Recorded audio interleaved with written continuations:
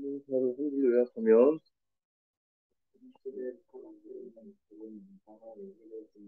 오케이. 내용 1번. 2번. 음, 선전 선동 도구였던 거지 선전 선동 도구. 북한에도 어린아이들에게 이렇게 가르치니까 아기 때부터. 막 김정일만 김정은 이런 사람 보면 막 우는 거죠. 감격해가지고. 3번 아이들은 문자들을 통해 사회의 것을 좋아하는 오케이. 다이너스티 remind A of B. A에게 B를 기억나게 하다 생기시키다 value. 가치. 또 동사로 쓰이면 소중히 여기다 그런 뜻이라고 그랬죠? In particular.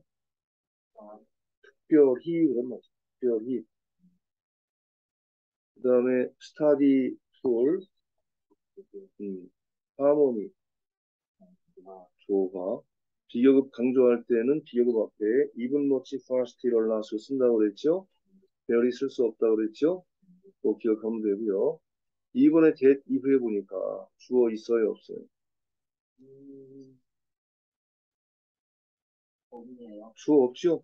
그래서 that은 관계되면서 주격이고 that이야가 앞에 나와 있는 values 여러 가지 가치 글을 설명해 주는 거죠 엄청나게 그들의 행동과 땡땡에 영향을 끼쳤던 가치들 그렇게 해석을 해야 되겠지.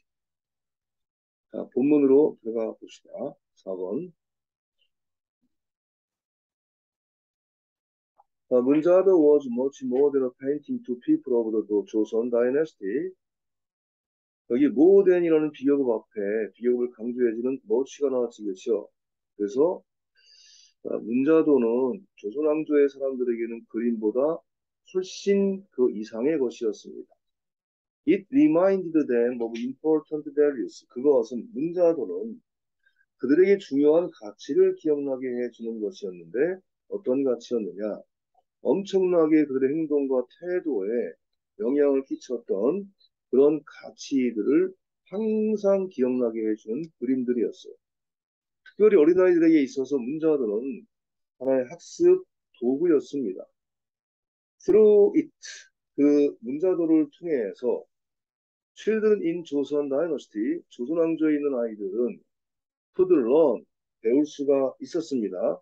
The importance of harmony, 조화의 중요성을 배울 수가 있었습니다. 가정과 사회 에서의 조화의 중요성을 배울 수가 있었습니다. 넘어가서 뭐야 끝이야? 이거 뭐야 한 줄 하고 끝이야? 너 엄청 길다며 자.